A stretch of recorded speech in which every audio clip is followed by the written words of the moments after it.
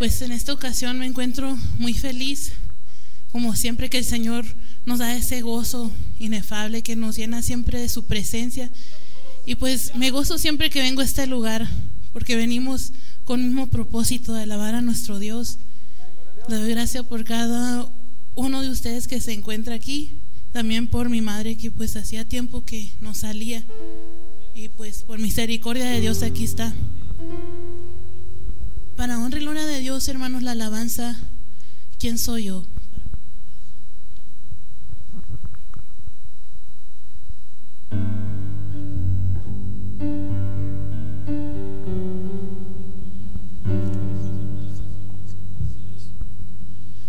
No sé cómo, pero tengo la esperanza. No sé cómo, pero sé que